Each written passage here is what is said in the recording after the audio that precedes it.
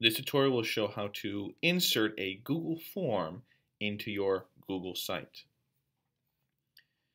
Here I am on my Google site, and I would like to insert a Google form that I created through the Google Drive app. So I'm going to click in the body of the web page, and then come up to the Insert menu, and go over to the Google column, where it says Drive, and from the list I'm going to choose form.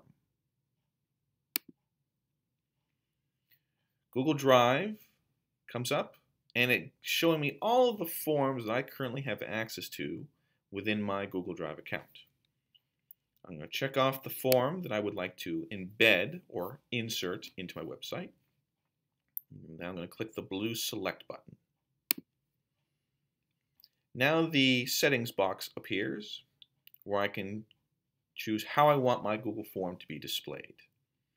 I'm going to keep everything pretty much the way it is, except for width, I'm going to leave empty so that it will be 100% the width of the browser window.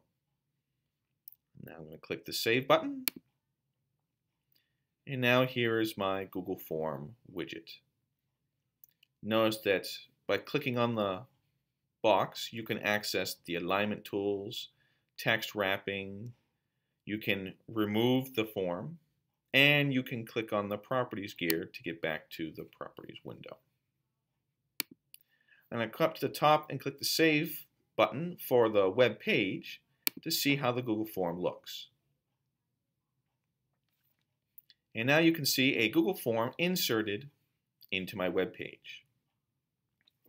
Remember, when you're doing this, to verify that the sharing permissions on the form are set correctly for your audience.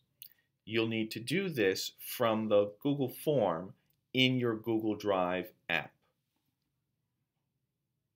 This concludes this tutorial.